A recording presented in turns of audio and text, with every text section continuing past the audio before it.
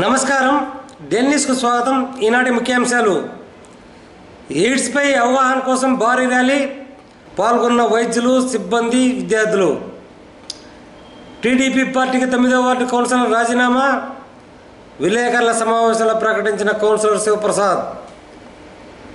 క్రీడా పోటీలకు క్రీడా దుస్తుల పంపిణీ పాల్గొన్న స్పోర్ట్స్ డైరెక్టర్ చంద్రమోహన్ బీడీలు ప్రసాద్ రెడ్డి మాలెద్దరు.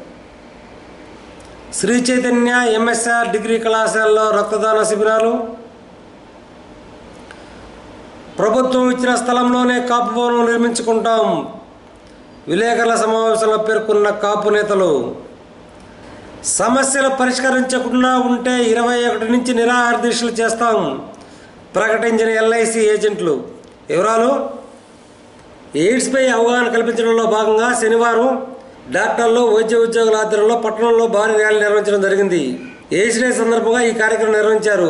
కావలి ఏరియా వైద్యశాల నుంచి ప్రారంభమైన ఈ ర్యాలీ పట్టణంలో పలు ప్రాంతాల్లో కొనసాగింది. ఏరియా వైద్యశాల సూపరింటెండెంట్ సుబ్బారావుతో పాటు deputy DMHO Selina Kumari doctor Prasanna శ్రీధర్తో పాటు వైద్యశాల డైరెక్టర్ పాదర్తి నాగరాజు విద్యార్థులు పాల్గొన్నారు.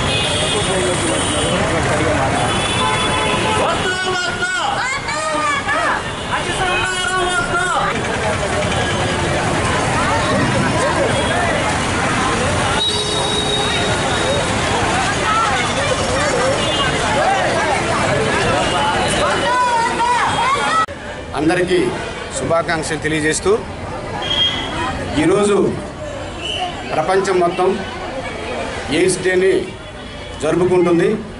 అందులో భాగంగా ఈరోజు కావలి ఏరియా హాస్పిటల్లో ఒక ర్యాలీని ఏర్పాటు చేయడం జరిగింది. ఈ ర్యాలీకి ముఖ్య అతిథిగా సబ్ కలెక్టర్ గారిని ఇన్వైట్ చేయడం జరిగింది. కానీ సార్ కొన్ని కారణాల వల్ల ఎమర్జెన్సీ మీటింగ్ ఉండడం వల్ల నెల్లూరులో సార్ అక్కడికి వెళ్ళిపోవడం జరిగింది. కాబట్టి మనం ఈ ఈ ర్యాలీని ఈరోజు మనం చేసుకోవడం జరుగుతుంది. నేను చెప్పేది ఏంటంటే ఎయిడ్స్ అనేది మనందరికీ తెలుసు. ఒక మహమ్మారిలాగా తయారైంది.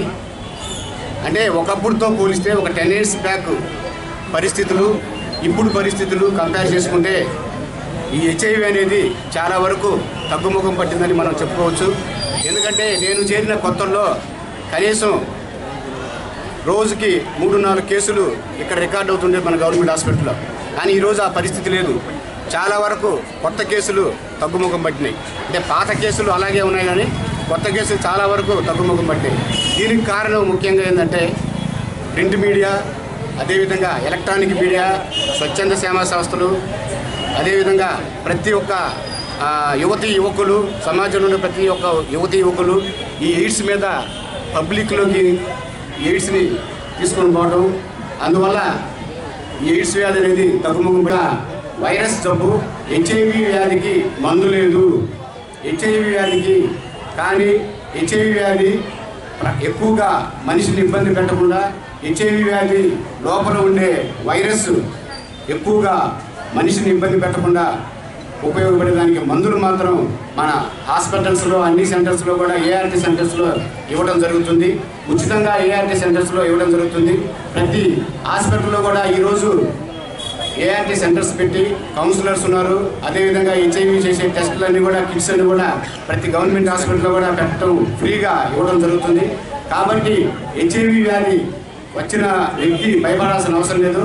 అసలు ముఖ్యంగా ఈ ఈ ఈ రోజు యొక్క ముఖ్య ఉద్దేశము ఎయిడ్స్ డే యొక్క ముఖ్య ఉద్దేశం ఏంటంటే మనం అందరం కూడా కావలి జేపీ కళాశాల ఆవరణలో ఫుట్బాల్ టేబుల్ టెన్నిస్ క్రీడాకారులకు శిక్షణలో భాగంగా క్రీడా దుస్తులు పంపిణీ చేశారు. స్పోర్ట్స్ డైరెక్టర్ చంద్రమోహన్ పీడీలు డాక్టర్ ప్రసాద్ రెడ్డి మాలతిరితో పాటు మణికంఠ తదితరులు పాల్గొన్నారు.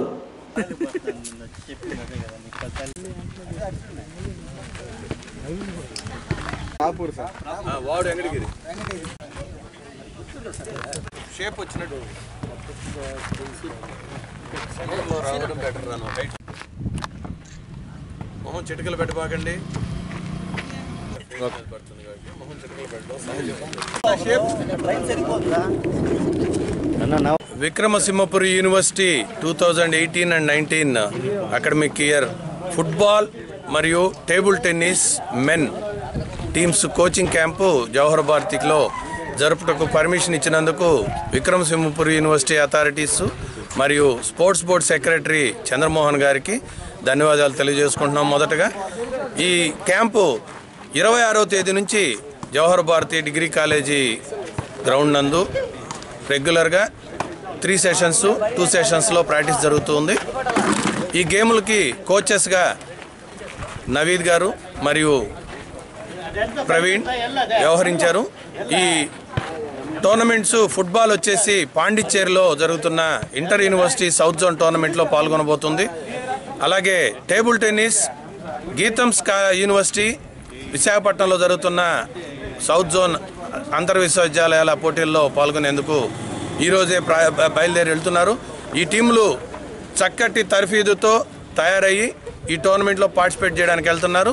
వీళ్ళు డెఫినెట్గా అక్కడ ప్రతిభ కనపరిచి విజయం సాధిస్తారని మనస్ఫూర్తిగా ఆశిస్తూ ఆశిస్తూ సెలవు తీసుకుంటున్నాం. తెలుగుదేశం పార్టీకి రాజీనామా చేస్తున్నట్లు తొమ్మిదవ ward TDP councillor Bettakonda Sivaprasad ప్రకటించారు. శనివారం బ్రాహ్మణ సంఘాల నాయకులతో కలిసి విలేకరుల సమావేశంలో మాట్లాడుతూ వార్డు సమస్యలు బ్రాహ్మణులకు ఇచ్చిన సమస్యలపై ప్రశ్నించడమే నేరంగా భావించడం కొంతమందికి మంచిది కాదన్నారు. ఈ సమావేశంలో బ్రాహ్మణ సంఘ నాయకులు ప్రసాదరావు శ్రీహరిరావు రాజేంద్ర కుమార్ మసూదన్ రావు తదితరులు పాల్గొన్నారు. పర్సనల్ విషయాలు. నేను ఎవరినైనా అప్పడిగితే అప్పడిగిన దానికి వేరే తప్పుగా మాట్లాడితే ఎంతవరకు కరెక్ట్ అంటారు? అప్పడిగానండి అడిగిన దానికి తప్పంటే ఎట్లా? దానికి డబ్బులు ఇవ్వలేదు కదా అని చెప్పి పార్టీ మారుతుందని ఇప్పటిదాకా ఆలోచన లేదు. ఇంత అవమానాలు జరిగిన తర్వాత ఈ పార్టీలో ఉండాల్సిన అవసరం కూడా నాకు లేదు. అందుకని ఈరోజు తెలుగుదేశం పార్టీకి రాజీనామా చేద్దామని అనుకొని మీ పత్రికా విలేకరులందరినీ పిలిచి చెప్పటం జరుగుతూ ఉన్నది నా వార్డు సమస్యలు నా కమ్యూనిటీ సమస్యలు నేను అడిగితే తప్పుడున్నా చెప్పండి. మీరు మాట ఇచ్చింది మీరే ఆ రోజు వీడియోలు కూడా తీశారు. ప్రెస్ మీట్ ఉంది అన్నీ ఉన్నాయి వీడియో క్లిప్పింగ్లు మొత్తం ఉన్నాయి కదా. మాకు ఇచ్చిన వాగ్దానాలు ఏంది ఈరోజు పదకొండు నెలలు. పార్కులు నాలుగు సంవత్సరం మూడున్నర సంవత్సరం అయింది. పార్కుల విషయం అడిగితే తప్పు. లోన్ల విషయం అడిగితే తప్పు. ఏ విషయం అడగాలి? అడగకుండా గమ్ముకుంటే ఇంకా మమ్మల్ని నమ్ముకున్న వాళ్ళు మేమేం చేస్తామండి? అంతగాడికి ఎందుకు కౌన్సిలింగ్ మీటింగ్ కానీ పార్టీలు కానీ లేకపోతే ఇంకోటి కానీ ఎలక్షన్ కానీ ఎందుకు? గతంలో వాళ్ళు చేయలేదని మా మీద నమ్మకంతో మాకు ఓట్లేసి గెలిపించిన తర్వాత మీ పెద్ద నాయకులు మీ మాటలినే కదా మేము కూడా ప్రజలకి చెప్పేది. నా మాటిని ఇంకోడు ఇంకో మాట చెప్తారు. మీ మాటలని నేను చెప్పాను. అవి నెరవేర్చమని నేను అడుగుతున్నాను. ఇప్పుడు కొన్ని కొన్ని తప్పులు ఉంటాయి. పిలిచి అడగాలి. సమర్థించాలి. వార్నింగ్ ఇవ్వాలి ఇంకోటి చేయాలి అదేమీ లేకుండా పుకారు మాటలు లేపి ఇంతలావున రచ్చ చేసి నన్ను రోడ్డుకి ఏడ్చడం కరెక్ట్ అంటారా? నిన్న వేద పాఠశాలది అడగటం తప్ప. మేము ఎప్పుడు అనంగా అడిగాము ఇప్పుడు వాళ్ళు మిగిలిన కమ్యూనిటీ వాళ్ళు ఎప్పుడు పెట్టారు? అంటే బ్రాహ్మణులు అంటే అంత చులకన. తొమ్మిదో వార్డు అంటే అంత చులకన మీకు? అంటే ఫస్ట్ టైము తెలుగుదేశం గెలిచింది మెజారిటీ వచ్చిందని అంత చులకం చేసుకుంటే ఏం చేస్తారు ఎవరు మాత్రం? మాకే నష్టమేం లేదు. మాకైతే నష్టమైతే లేదు. ఇబ్బంది లేదు. దానివల్ల భయపడాల్సిన అవసరం లేదు. నేను తప్పు చేస్తే భయపడతా. తప్పు చేయనప్పుడు నాకేం భయం అండి అట్లాంటప్పుడు మీరు పిలవాలి. ఎవరైనా కంప్లైంట్ చేసినప్పుడు ఏందిరా శివ ఇట్లా చేసావంట నిజమేనా ఎందుకు చేసావు? అడగాలి. అది అడగకుండా ఆరు నెలల నుంచి నరకం స్పెల్లింగ్ రాయిపించారు నరకం స్పెల్లింగ్ రాయిపించారు అట్లాంటప్పుడు అన్ని అవమానాలు పడుతూ ఒక ఉన్నతమైన కులంలో పుట్టి అంత అవసరమా నాకు? అందుకనే పార్టీకి రాజీనామా చేద్దామని అనుకున్నాను అదేమంటే సస్పెండ్ చేశామని ప్రెస్సుల్లో చెప్పారని అన్నారు. నాకైతే ఇంతవరకు షోకాజు నోటీసు రాలేదు సస్పెండ్ చేసిన దాఖలాలు లేవు. అట్లా అని చెప్పి పార్టీ ఆఫీసు నుంచి పలాని కార్యక్రమం అని చెప్పి పిలిచిన పాపానా పోలేదు. అట్లాంటప్పుడు మాకెందుకండి?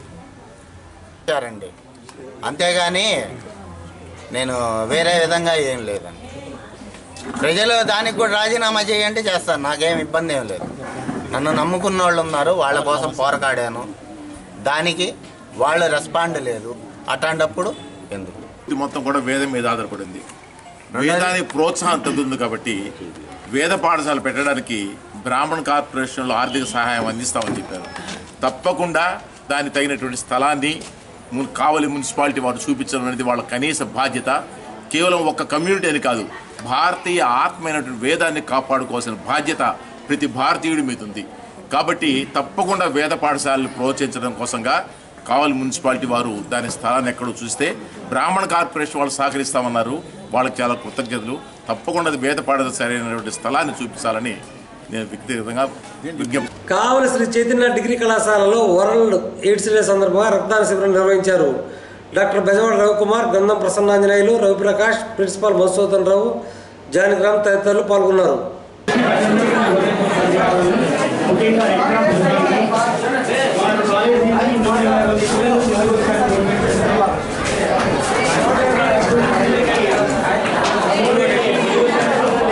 సందర్భంగా Kavali Sri Chaitanya degree college students staff అందరూ రక్తదానం ఇవ్వడానికి సంకల్పించడం అనేది చాలా సంతోషకరమైన విషయం.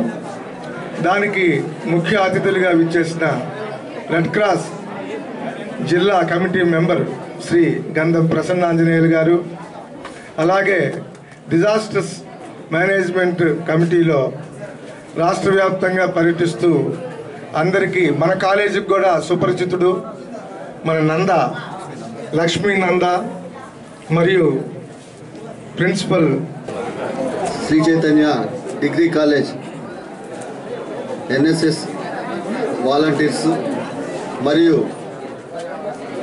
ఇంత గొప్ప కార్యక్రమం చేస్తున్న విద్యార్థిని విద్యార్థులందరినీ కూడా మా ఇండియన్ రెడ్ క్రాస్ సొసైటీ తరఫున హృదయపూర్వకంగా అభినందిస్తూ ఉన్నాం. ఎందుకంటే రక్తదానం ఒక సామాజిక బాధ్యత అని గుర్తెరిగి ఎన్ఎస్ఎస్ రావడంతో మంచి క్యాంపు. సమాజం పట్ల మీరు చూపిస్తున్న శ్రద్ధ కోసం శ్రద్ధని పూర్తిగా అభినందిస్తూ ప్రతి ఒక్కరు కూడా రక్తదానం చేయండి. ఎయిడ్స్ నిర్మూలనా దినోత్సవం సందర్భంగా రక్తదానం చేస్తున్న విద్యార్థులందరికీ హృదయపూర్వక అభినందనలు తెలియజేస్తా ఉన్నాము. ఈ కళాశాల మా యొక్క chief medical officer blood bank convener doctor P Ravikumar గారు మిగతా గొప్ప జన విజ్ఞాన వేదిక సంబంధించిన గొప్ప నాయకులు జానకిరామ్ గారు తదితరుల యొక్క ఆధ్వర్యంలో జరుగుతుంది. అనేది ఈ రక్తం ఇచ్చిన ప్రతి ఒక్కరూ కూడా ప్రాణం పోసే భగవంతుడితో సమానమే. ఇది ముఖ్యంగా తలసీమియా వ్యాధి అనే ఒక వ్యాధి ఉంది. దాంట్లో వారానికి ఒకసారి ఐదు రోజులకోసారి బ్లడ్ మార్చాల్సి వస్తుంది. వాళ్ళకి ఆ వ్యాధి వచ్చిన వాళ్ళకి నరకమే. బ్లడ్ డొనేట్ చేసేవాడు లేకపోతే వాళ్ళ జీవితం ఇంకా అంతమైపోతుంది. కావలి ఎంఎస్ఆర్ డిగ్రీ కళాశాలలో మాగుంట సుబ్రహ్మరెడ్డి ఇరవై మూడు వర్ధంతి వరల్డ్ ఎయిడ్స్ డే సందర్భంగా రక్తదాన శిబిరం నిర్వహించారు. ఈ సందర్భంగా మాగుంట సుబ్రహ్మణ్య చిత్రపటానికి పలువురు నివాళులర్పించారు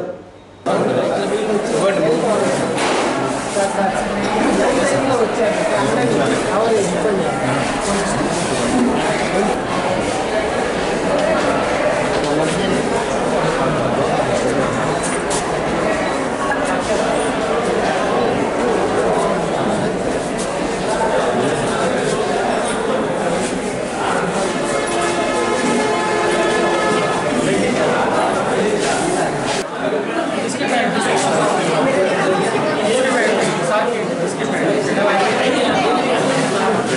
మాగుంట సుబ్బరామరెడ్డి ఇరవై మూడవ వర్ధంతి సందర్భంగా ఈరోజు మా కళాశాలలో ఒక మెగా బ్లడ్ డొనేషన్ క్యాంప్ని మా మేనేజ్మెంట్ వారు అధ్యాపకులు నిర్వహించడం జరిగింది. గత పద్దెనిమిది సంవత్సరాలుగా ఇదే కావలి పట్టణంలో ఎంఎస్ఆర్ డిగ్రీ కళాశాల తరఫున బ్లడ్ డొనేషన్ క్యాంపును కొనసాగిస్తూ ఉన్నాం.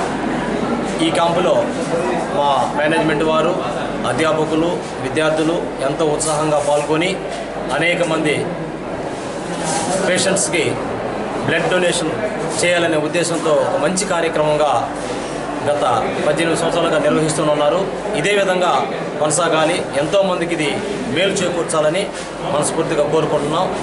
ఈ కార్యక్రమానికి సహకరించినటువంటి మిత్రులందరికీ ధన్యవాదాలు. ప్రభుత్వం ఇచ్చిన స్థలంలోనే కాపు భవనం నిర్మించుకోవడం జరుగుతుందని శ్రీకృష్ణ దేవరాయ సేవా సమితి కాపు నాయకులు అలాగే కొండయ్య ఏఎంసీ చైర్మన్ మలిశెట్టి వెంకటేశ్వర్లు దామిశెట్టి శ్రీనివాస నాయుడు పలువురు కౌన్సిలర్లు కాపు నాయకులు తెలిపారు. కార్పొరేషన్ బ్రీడింగ్ స్థలం తమకు అవసరం లేదని ప్రభుత్వం ఎక్కడైనా స్థలం కేటాయిస్తే అక్కడే నిర్మించుకోవడం జరుగుతుందన్నారు. ప్రభుత్వం ఆధ్వర్యంలోనే భవనం ఉంటుందని తెలిపారు. ఈ విషయం మీద చాలా రాద్ధాంతం జరుగుతూ ఉంది. మేము కాపులుగా ఎవరికి వ్యతిరేకులం కాదు. ఇప్పుడు దాని మీద డాక్టర్ వెంకారెడ్డి గారు పురమందిరం నిర్మించమని అప్లికేషన్ ఇచ్చాడని మేము చూశాయిగా మాకు తెలిసింది. ఇది ఈ కాపు భవనం మేము అక్కడే నిర్మించుకోవాలని మాకు ఏమీ లేదు. గవర్నమెంట్ ఎక్కడ నిర్మించి ఇచ్చినా అక్కడికి మేము పోయేదానికి సుముఖంగా ఉన్నాము. మీరు పురమందిరం నిర్మిస్తామంటే కావలి ప్రజారాకంతో మేము కాపు నాయకులు కూడా సంతోషమేను. మీరు నిర్మించి దాన్ని మన కావలి ప్రజలకి ఒక ఓపెన్ థియేటర్ కంటే చాలా దూరంగా పోతా వస్తున్నాం. దాన్ని లేకుండా ఇది మీరు కావలి సోదరులకి అన్ని కులాల వారికి ఉపయోగించేటట్టు మీరు దాన్ని చేస్తామంటే మేము ఆ స్థలంలోకి ఈ రోజు నుంచి మా కాపు సోదరులు కానీ ఇప్పుడు ఆడుండే నలుగురు ఐదుగురు వాళ్ళ ప్రమేయం మేము వాళ్ళ ఉద్దేశాలు మేము తెలియపరలేకున్నాం వాళ్ళు కూడా కొంతమంది దాంట్లో ఐదుగురు ఉంటే నలుగురు మాకు లెటర్స్ ఇచ్చేసి ఉన్నారు. అయినా ఆ నలుగురు సోదరులకు కూడా నేను మేము నిర్ణయించేది ఏంటంటే సోదరులారా అది మన కావలి నియోజకవర్గానికి టౌన్ హాల్ దాకా ఉపయోగపడద్దంటే మీరు కూడా దాన్ని సమ్మతించి ఆ టౌన్ హాల్కి ఇచ్చేదానికి మీరు సుముఖంగా ఉండండి. మనం కాపు మన గవర్నమెంట్ ఎక్కడ నిర్మించి ఇచ్చినా అక్కడ పోయేదానికి మేము సుముఖంగా ఉన్నాం. ఈ విషయంలో నాయకులు కొంతమంది కొంతమంది నాయకులుగా వాళ్ళు రాజకీయంగా వాడుకోవటానికి ఇది మంచి పద్ధతి కాదు మీకు. మా మేము ఈ రోజు నుంచి నేను శ్రీకృష్ణదేవరాయ సేవా సంస్థ బలిజీ కాపు అధ్యక్షుడిగా ఉన్నాను కాబట్టి నేను వీళ్ళందరికీ మా సోదరులకు చెప్పేది ఏంటంటే ఈ రోజు నుంచి ఆ స్థలం మనది కాదు మనకి వద్దు. వచ్చినా కూడా మీరు అక్కడ కాపు భవనం నిర్మిస్తే మనం అడుగు కూడా పెట్టము. వాళ్ళు ఎక్కడ నిర్మిస్తే అక్కడికే పోతాం కావని సిఆర్ఆర్ క్లబ్లో మాత్రం కాపు భవనం నిర్మిస్తే మాత్రం సోదరులారా కాపు సోదరులారా మీరు ఎవ్వరు నా మన్ మన్నించి అక్కడ అడుగు పెడితే మీరు కాపు కులానికి ద్రోహం చేసిన వాళ్ళు అవుతారే గాని కాపు కులం నుంచి మిమ్మల్ని కూడా వేలేయాల్సిన పరిస్థితులు వస్తాయి అక్కడ. అందువల్ల కాపు భవనం సిఆర్ఆర్ క్లబ్లో నిర్మించేదానికి మేము సుముఖంగా లేము. కౌన్సిల్ తీర్మానం చేయటం కౌన్సిల్లో పెట్టడం అజెండా బయటికి రావటం దాని మీద కావలపట్నంలో రకరకాల అపోహలు రకరకాల వద్దంతులు పేద మస్తాంధ్రరావు గారు ఆ స్థలాన్ని ఒక కులానికి ధారాదత్తం చేస్తున్నారని చెప్పి ఆయన మీద ఒక దుష్ప్రచారం చేయటం ప్రారంభించారు. ముఖ్యంగా కావలి పట్టణ ప్రజలకు మేధావులకు వ్యాపార వర్గాల వారికి కూడా మా కావలి కాపునాడు సంఘం తరపున మీ అందరికీ ఒక విజ్ఞప్తి మనవి చేస్తున్నాం. ఆ స్థలాన్ని కాపు కులానికి ఇవ్వటం లేదు అది. కాపు భవనం అంటే కాపు భవనం అనే పేరు మాత్రమే ఉంటుంది. అది మొత్తం ప్రభుత్వ ఆధీనంలో ఉంటుంది. బీసీ కార్పొరేషను ఆధీనంలో ఆ భవనం నడిపిస్తారు తప్పితే కాపు కులస్తుల చేతుల్లో కాదు అది. పేరుకు మాత్రమే కాపు కుల భవనం అంటారు తప్పితే అది మొత్తం మెయింటెనెన్స్ అంతా ప్రభుత్వమే మెయింటైన్ చేస్తే రెండు కోట్ల రూపాయల డబ్బులు ఇచ్చి ప్రభుత్వం ఆ భవనాన్ని కట్టిస్తుందని చెప్పి ఆవలపట్నం ప్రజలందరూ కూడా ఈ అపోహలకి మేము ఎవరిని ఇవ్వాల్సిన బాధ్యత ఉంది కాబట్టి ఇలా పెద్దలందరూ కూర్చొని చెప్తా ఉన్నాం. ఇది మా కులానికి ఇస్తున్న స్థలం కాదండి. కాపు భవనం ప్రభుత్వమే తీసుకొని భవనం కట్టించే స్థలం అది. కొంతమంది అయితే ఎవరెవరో కొద్దిగా వాట్సాప్లో ఫేస్బుక్లో కూడా రకరకాల దుష్ప్రచారం చేయడం జరిగింది మా కులం మీద. మేమేదో దాన్ని కోట్ల రూపాయల ఆస్తిని మా కబంధ హస్తాల్లోకి వస్తున్నట్టు దాన్ని అంతా మేము దుర్వినియోగం చేస్తున్నట్టు కూడా కావలపట్టిన ప్రజల్ని అయోమయానికి గురి చేసిన పరిస్థితి మీరందరూ కూడా గమనించారు. అది కాపు పురస్తులకు ఇచ్చేది కాదండి కాపు భవనం ప్రభుత్వమే దాన్ని నిర్వహణ చేస్తుందని చెప్పి ఈ సందర్భంగా తెలియజేస్తా ఉన్నాం. ఎల్ఐసి ఏజెంట్ల సమస్యలను ఈ నెల ఇరవై తేదీలో యాజమాన్యం పరిష్కరించకపోతే ఇరవై తేదీ నుంచి నిరాహార కార్యాలయం ఎదురు చేస్తామని ఎల్ఐసి ఏజెంట్ ఫెడరేషన్ అధ్యక్షులు రమణయ్య కార్యదర్శి వెంకటేశ్వర్లు కోశాధికారి పి సురేష్ బాబు సహాయ కార్యదర్శి మహబూబ్ బాషా తెలిపారు. యూనియన్ ఇచ్చే పిలుపు మేరకు తదుపరి నిర్ణయం తీసుకుంటామని వివరించారు. లియాపి ప్రెసిడెంట్గా అంటే మా డివిజన్ ఆఫీస్ నుంచి వచ్చిన సర్క్యులర్ ప్రకారం అంటే కొన్ని డిమాండ్స్ ఎల్ఐసి బోనస్ పెంచమని ఏజెంట్ మెడికల్ క్లెయిమ్ పెంచమని ఏజెంట్ ఒక మామూలుగా గ్రాట్యుటీ పెంచమని హౌసింగ్ లోను కొన్ని కొన్ని పాలసీదారుల బోనస్ మెయిన్. బోనస్ పెంచమని పదే పదే చాలా ధర్నాలు కూడా చేసాం మేము. రేపు ఇరవై ఒకటి ఈ మేము పెట్టిన ఈ డిమాండ్స్ అన్నీ కానీ మాకు ఈ లోపల ఏ విషయం మామూలుగా వాళ్ళ నుంచి స్పందన రాకపోతే ఇరవై ఒకటి కావలి. ఎల్ఐసి బ్రాంచ్ ముందు నిరాకార దీక్ష చేస్తాము. ఎల్ఐసి సంస్థలో పెట్టినటువంటి పాలసీదారులు కట్టే జీఎస్టీని తొలగించమని ముఖ్యంగా మేము కోరుకుంటున్నాం. ఇప్పుడు జీఎస్టీ విపరీతంగా పెరిగింది నాలుగున్నర శాతం బట్టి సామాన్య మానవుల యొక్క నడ్డి విరుస్తూ ఉంది మన కేంద్ర ప్రభుత్వం. ఇది ఖచ్చితంగా అది భారత ప్రభుత్వం చేస్తున్నటువంటి పని. రెండవది ఏంటంటే గతంలో లోన్లు ఇస్తే మామూలుగా ఉండేటువంటి వడ్డీని ఎనిమిది శాతాన్ని ఇవాళ తొమ్మిదిన్నర శాతంగా పాలసీల పైన వడ్డీని విపరీతంగా పెంచారు. ఆ వడ్డీ రేటుని తగ్గించమని చెప్తున్నాం.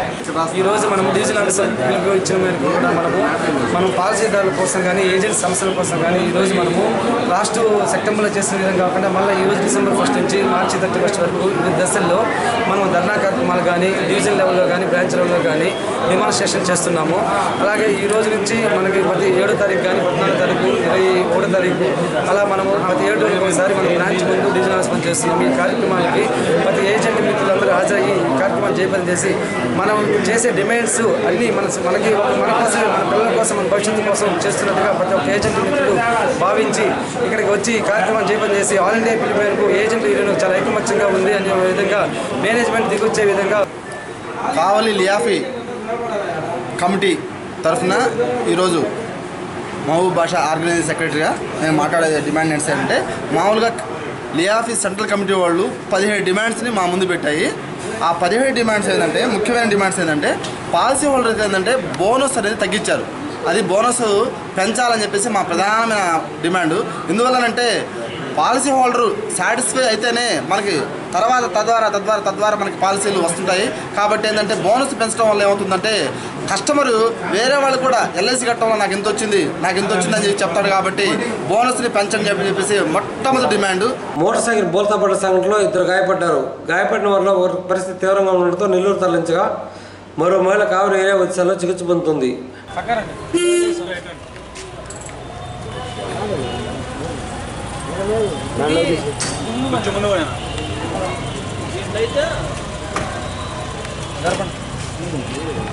డెన్ న్యూస్ ఇంతటితో సమాప్తం. నమస్కారం.